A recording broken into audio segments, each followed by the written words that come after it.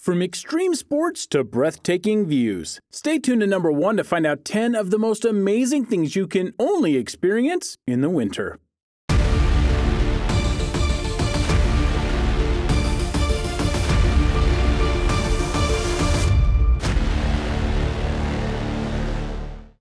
Number 10. The Classics.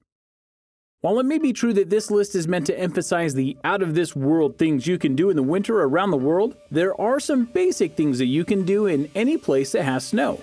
The classics, ladies and gentlemen. Like what? How about building a snowman? Or building a giant snowman? Yeah, it's fun stuff, and you can dress them up and make cool stuff out of them, and more. Or how about a snowball fight? There's a worldwide tradition right there. Who doesn't love chucking snowballs at friends and family members in order to make them scream in pain? I mean, to have them enjoy the thrill of the fight. Yeah, that's it. And for the younger kids, there's always making snow angels or going sledding on nearby hills, or attaching your dog to a sled and having them take you around town like a real sled dog. It's good stuff, and all you need is a little snow to do these things. Location doesn't matter. That is why the classics never go out of style. Number 9. Ice sailing. Okay, we've all heard of ice skating, right? Well, in the state of Michigan, in fact, right on Lake Michigan, they decided to take this classic activity and crank it up to 11 because they made the sport of ice sailing popular. How does this work? Well, not exactly like you think. You can't just take a regular boat and go sailing out on the ice. Rather, you have to make a custom ice rocket that allows you to cut and glide across the ice at impressive speeds. In fact, the top speed of these craft are around 60 miles per hour, which is pretty good for a non powered boat. The fun doesn't end there though. Michigan actually has their own club for this sport, and it has over 2,000 people in it. Yeah, there are a bunch of people who love going ice sailing, and the appeal is definitely there. Granted, you need to know that the place you're ice sailing on is solid, which is why this takes place on Lake Michigan, for when that thing freezes, you know it's solid. Number 8. Heli skiing. Before we talk about this extreme sport, take a moment to click the like button on this video and then join the Zero to Hero community by subscribing below. Don't forget about that little notification bell either. This will ensure that you always stay up to date with our latest videos.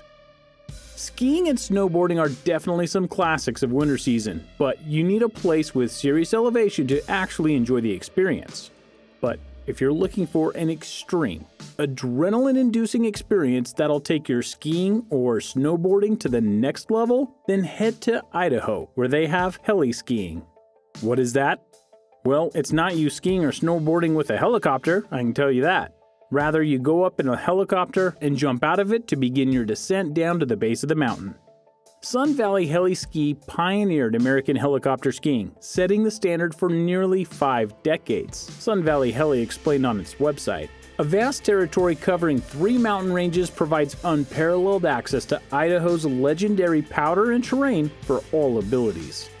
While that makes it sound like it's epic for sure, you have to wonder how safe it is.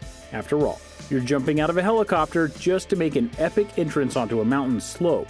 But the catch is that the areas they take you to are places rarely shredded, thus, it'll be almost like a truly unique experience. But yes, avalanches can certainly be a concern, as can the cost. That being said, these rides are $1,500 per day. Number 7. Waterfall climbing.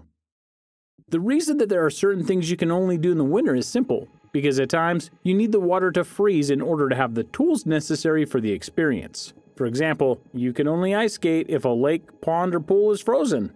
Likewise, you can't climb a waterfall unless it's frozen. Wait, you can climb a waterfall, you ask? Yes. Yes, you can.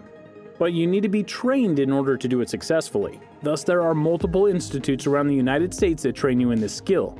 There's one in California, which seems like an odd place, and another in Colorado. You might think that this kind of training isn't necessary, but it is.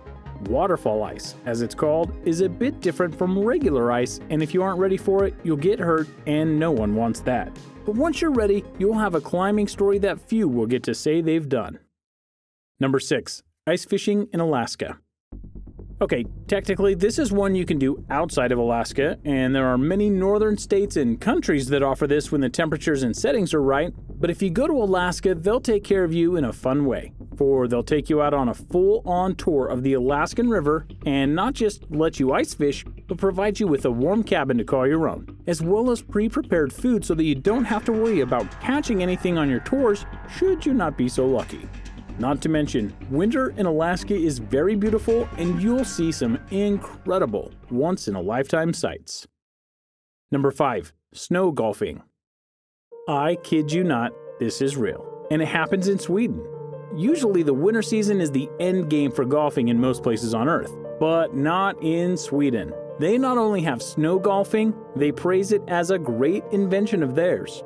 Summer golf has been here since the 1930s, but we wanted to do something for the winter time. Maria Bergwall, marketing and sales manager for Lapland Resorts, told CNN. We have nine holes and we use snow plows that we usually use on the slopes to smooth the course.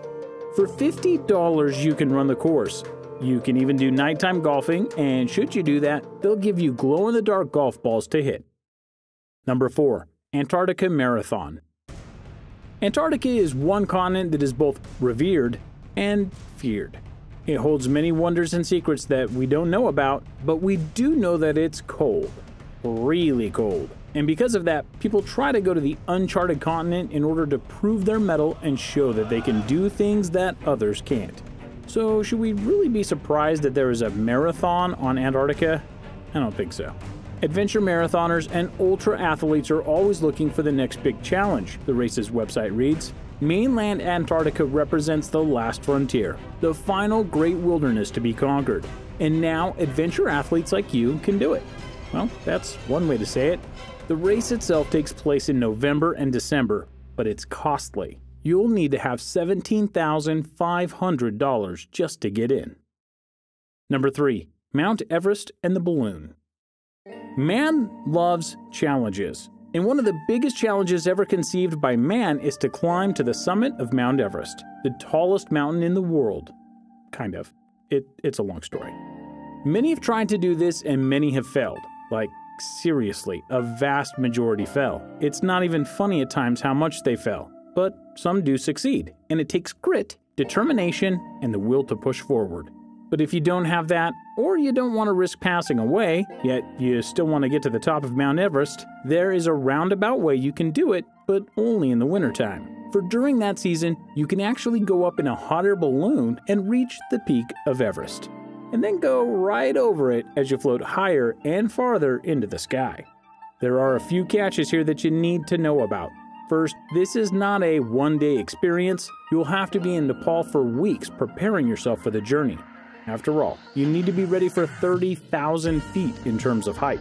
The balloon trip will take a day though. The other catch? It'll cost you over $4 million to take this trip. Best make sure your wallet can handle this before committing. Number 2. Husky Safari. Ironically enough, Christmas isn't exactly famous for its animals. Granted, we partner up certain animals for the experience, such as what happens with the polar bears in the Coke commercials, but there is one animal that most definitely is associated with Christmas reindeer.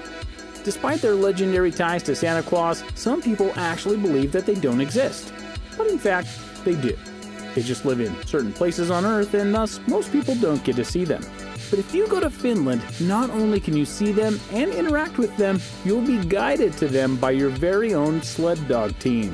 One pulled by the legendary snow dog breed, the Siberian Husky. A Husky Safari is a truly thrilling experience, especially when you have the chance to be a musher in control of your own team of dogs. Experience the excitement of the dogs as they eagerly wait to pull you at a speedy pace through the breathtaking Lappish scenery.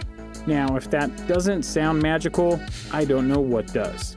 And more than that, meeting a reindeer has to be a truly unique and fun experience, and only $180 for a single day excursion. If you can make the trip, do it. Number one, Ice Hotel. No, not a nice hotel, an ice hotel.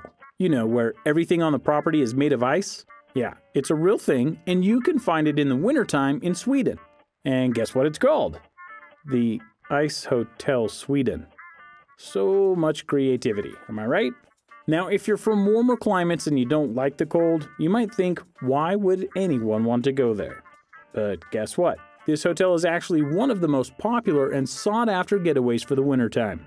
People really like it there, apparently. The ice itself comes from the River Torn, and they use the ice to make everything that goes into the hotel, including elegant ice sculptures. That's actually part of the entertainment, being able to see an exhibition of the ice sculptures and the like. But it's not just a hotel that you want to stay at, it's an experience. A place to discover silence, northern lights, glistening snow clad forests, reindeer, cloudberries, kettle coffee, and much more, says the hotel's website. Granted, this is not a getaway everyone will enjoy, but if you're up for some ice, I mean, nice, fun, that you can't get anywhere else, then to Sweden you must go. What is your favorite thing to do in the wintertime? Let us know in the comments below and take care.